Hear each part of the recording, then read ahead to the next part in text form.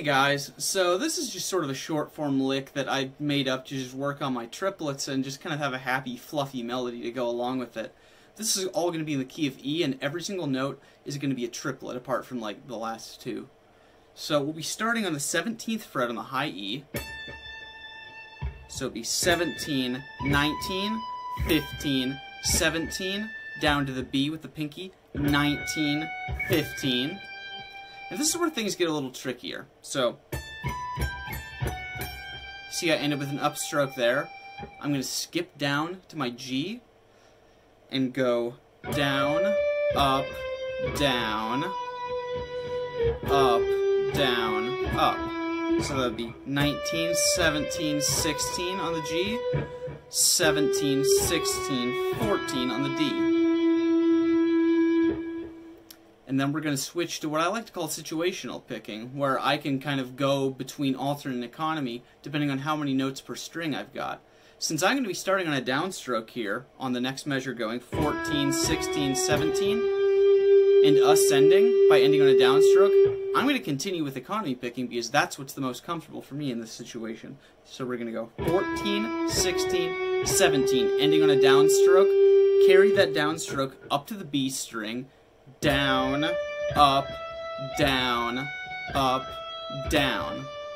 You see, after I play that 15, 17, 19, 17, 15, I end on a downstroke, but I'm descending. So I can't be doing economy picking at this moment in time. So I'm going to switch back to alternate picking to go down to the G to go 16, 14, then down to the D, 17, 16. And this is where we can switch back to economy picking after this for the next measure. We're going to be starting with an upstroke on the 14th fret on the D string.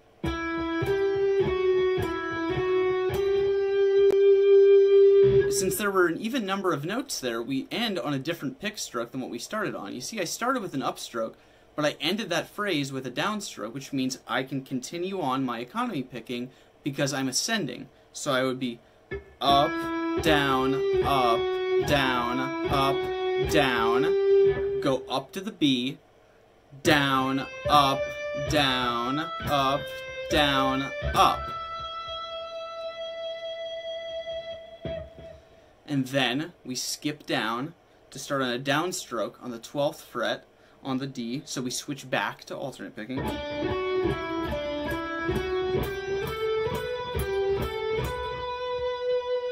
So you can see in that same phrase, we used economy picking,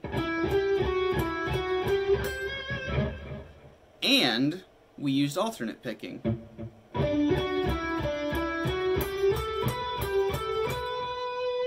And finally, to end the phrase, we just do a little run down on our G. So 14, 17, 16, 12, 16, 14, 11, 14, 12, 9, 12, 11, then we got one of those gorgeous ninth inversions that I love so much.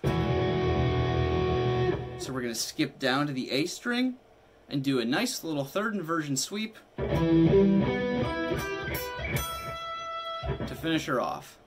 Alright guys, so this is one that I would start at about half speed just to get your picking mechanics down and figure out kind of the tricks behind situational picking so that you don't have to fully think, oh, I have to alternate pick this, or oh, I have to economy pick this every time.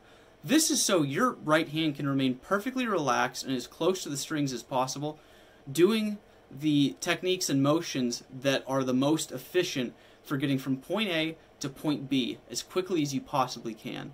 Alright guys, have fun with this one. I'll see you next time.